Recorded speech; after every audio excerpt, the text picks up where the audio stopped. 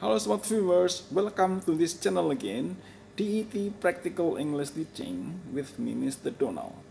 Well, in this video I'd like to give you tips how to improve your speaking skill. One of the ways to improve your speaking skill is listening. So you must listen before you speak. In this case, I'm going to tell you a short story related to the use of present tense. So we can reproduce conversation using the story.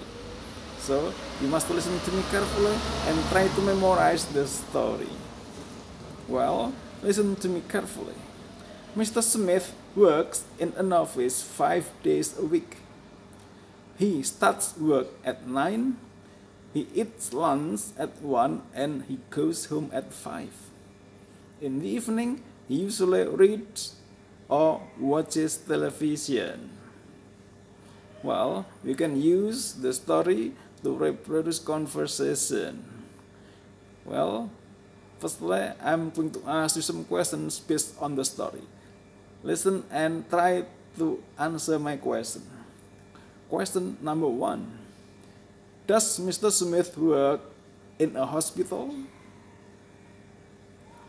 Question number two where does he work? The next question Does he start work at 9?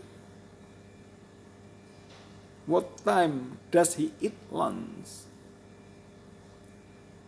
Does he go home at 4.30?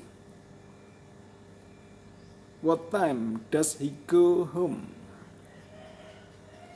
Does he usually listen to the radio in the evening? What does he usually do in the evening? Last question. When does he usually read or watch television? The next is about you. What about you? Question number one. Do you work in an office? Next question. Do you work in a hotel?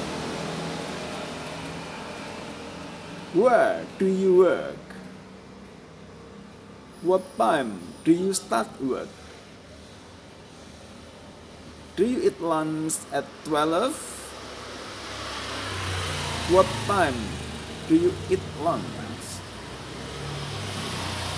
Do you go home at 4 o'clock? What time do you go home? What do you usually do in the evening?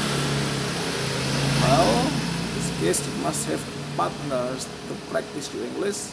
You should also able to ask some questions to your partner using the story. Well, I hope this video is useful for you.